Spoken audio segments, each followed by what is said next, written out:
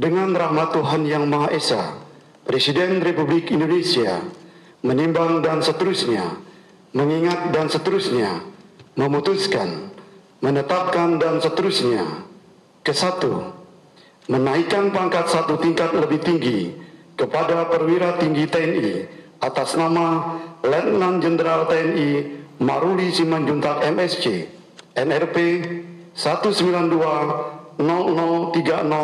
0030770270 dari Letnan Jenderal TNI menjadi Jenderal TNI terhitung mulai tanggal ditetapkan keputusan Presiden Republik Indonesia ini. Kedua, keputusan Presiden ini mulai berlaku pada tanggal ditetapkan.